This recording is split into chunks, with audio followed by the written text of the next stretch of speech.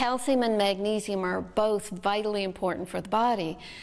We hear more about calcium now because of uh, osteoporosis and the, the need for building bones.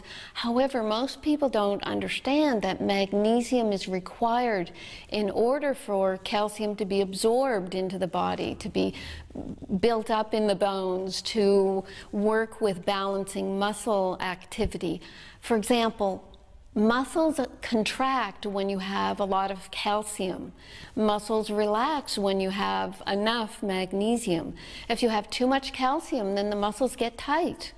And that can be a problem for people who get uh, leg cramps, charley horses. And the heart being one of the biggest muscles in the body, if the heart cramps up, you have angina and worst case scenario, a heart attack. Another way we can deplete magnesium is by taking too much calcium.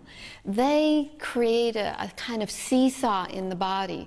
And if you have too much calcium, you actually deplete your magnesium. You want a balance of both.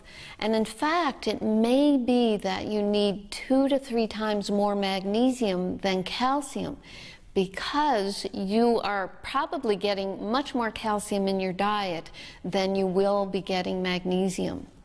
If you have enough magnesium in the body when you're taking a lot of calcium, you can actually help dissolve the calcium so it doesn't build up in the tissues.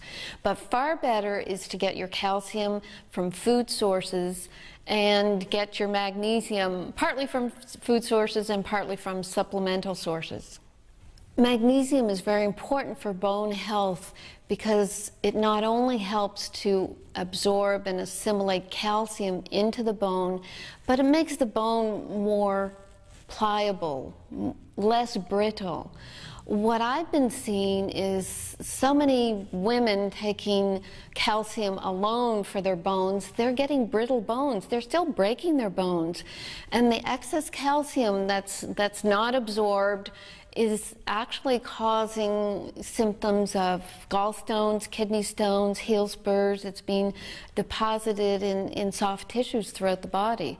So it, it has to be balanced. Calcium has to be balanced with magnesium.